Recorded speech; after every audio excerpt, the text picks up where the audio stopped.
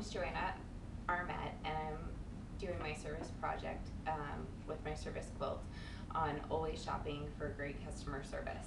Um, my service philosophy is always shop for the best customer service. Look for companies who are efficient, friendly, energetic about who they are and what they sell.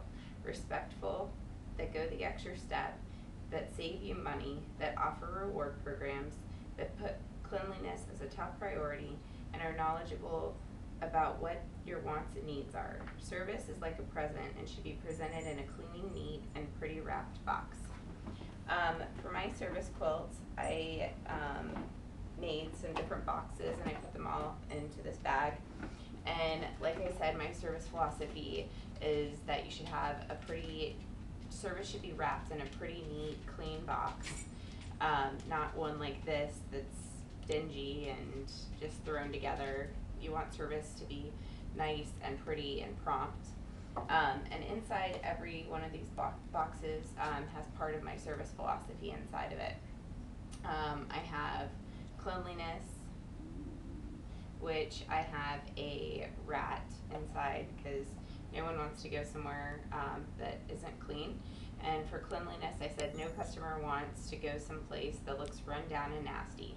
It is important to keep your business clean and neat. Show the customers that it is a top priority to you and that you care about the appearance and sanity, sanitary conditions. Inside this one, I have going the extra step. Um, you should always go out of your way to make sure your guests and customers are satisfied. I know that when I have special requests and a restaurant makes sure it happens, I know that they are going the extra step to make it perfect.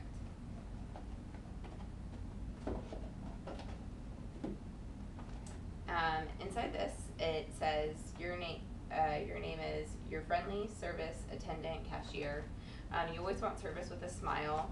So I said friendly. I want to be greeted and acknowledged. I want to hear, "Hey, how are you today? Um, my name is Joanna. How can I help you?" I want it to be as genuine as possible and remember that customers are the ones that pay your salary. No customers, no jobs. And then inside here, I put um, like wax lips, service with a smile. And then I have um, just some funny grilled smile teeth in there. Um, and then I have customer savings. I love it when um, travel companies let me know of upcoming specials and sales that let me help save money. It encourages me to, to look into booking cruises and flights. When they had not sent me an email, I might not have even thought about it. So inside I have money for money saving. I also want a company that's energetic, so I of course used um, coffee. Um, energetic, I love when I have an energetic person selling me something. Oh, have you tried this? It's amazing. That is a great way for a company to upsell, and it's more than likely that they'll buy more um, from you. Um, rewards programs, I use this. Um, customers love rewards programs and feel when they are getting something in the mail saying they have earned something for free that they feel special. So customer rewards are great for companies to use um, for customer service methods.